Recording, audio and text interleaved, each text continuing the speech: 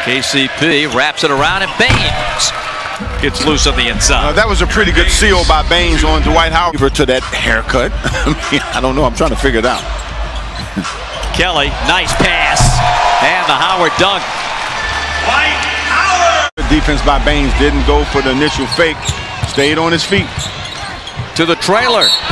Oh, and it goes. Pulls it out. 8-10 to go, fourth quarter. Schroeder to Dwight.